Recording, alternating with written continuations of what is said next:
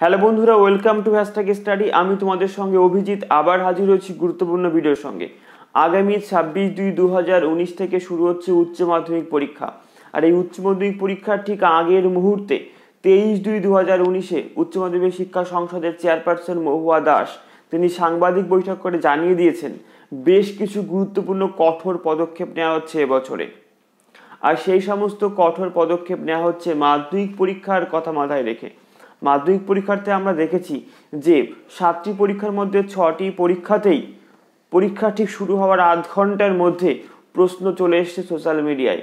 ঘোরাফেরা করেছে সকলের হাতে। সেই কথা মাথায় রেখে বড়সড় চ্যালেঞ্জ নিয়ে উচ্চ মাধ্যমিক শিক্ষা সংসদ জানিয়ে দিয়েছেন বেশ কিছু কঠোর, গুরুত্বপূর্ণ পদক্ষেপ। তিনি জানিয়েছেন, যদি কোনো পরীক্ষার্থী মোবাইল ফোন নিয়ে পরীক্ষার হলে ঢোকার চেষ্টা করে এবং যদি তার কাছে মোবাইল ফোন পাওয়া যায় বা ধরা পড়ে তাহলে তার পরীক্ষা আজীবনের জন্য বাতিল হতে পারে। এই রকম কঠোর কঠোর নিয়ম কিন্তু এবছরে লাগু হয়েছে উচ্চ মাধ্যমিক পরীক্ষার্থীদের জন্য। তো আজকের এই ভিডিওটি ভীষণ গুরুত্বপূর্ণ। তো সকলকে রিকোয়েস্ট করব ভিডিওটিকে সম্পূর্ণ দেখতে এবং সকলের কাছে শেয়ার করতে। কেননা সকলের জন্য এই ভিডিওটি ভীষণ গুরুত্বপূর্ণ। সকল পরীক্ষার্থী এবং সকল অভিভাবকদের কাছে ভিডিওটিকে শেয়ার করে দিতে।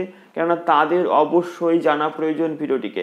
এবং আজকের এই বিষয়গুলো পরীক্ষার আগের মুহূর্তে জানাটা ভীষণ দরকার।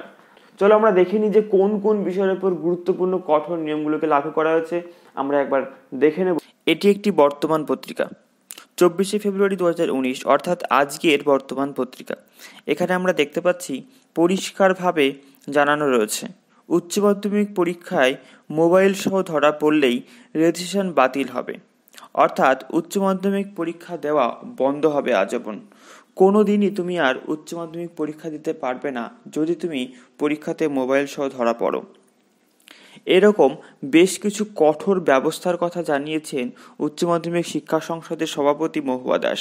তেইশে ফেব্রুয়ারি দুপুরবেলায় তিনি সাংবাদিক বৈঠক করে জানিয়ে দিয়েছেন, এমন অনেক গুরুত্বপূর্ণ এবং কঠোর নিয়ম। তিনি জানিয়েছেন, এবছর প্রতিটা পরীক্ষা কেন্দ্রে অর্থাৎ পরীক্ষার হলে তিনজন করে ইনভিজিলেটর থাকবেন এবং যার মধ্যে একজন থাকবেন মোবাইল ইনভিজিলেটর। অর্থাৎ তিনি ঘুরে ঘুরে নজর রাখবেন মোবাইল ব্যবহারকারীদের ওপর। আর মোবাইল সহ ধরা পড়লেই থাকবে কঠোর ব্যবস্থা। একই সঙ্গে পরীক্ষা কেন্দ্রে থাকবে মোবাইল ডিটেক্টর, যা দিয়ে পরীক্ষার হলে ঢোকার মুহূর্তেই তল্লাশি করা হবে মোবাইল।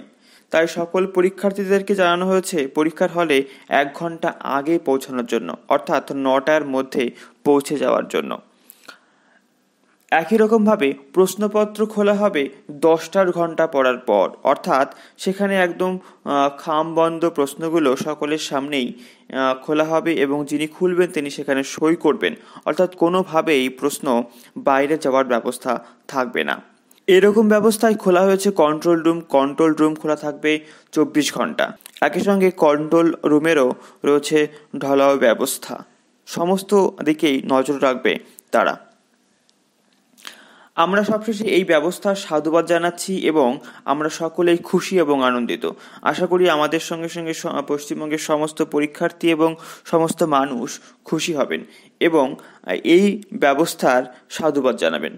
একরকমভাবে মাধ্যমিক পরীক্ষার পরে এটি একটি চ্যালেঞ্জ এবার দেখার পালা শেষ পর্যন্ত কীভাবে এই কঠোর ব্যবস্থা কার্যকারী এবং এর সুফল উঠে আসে।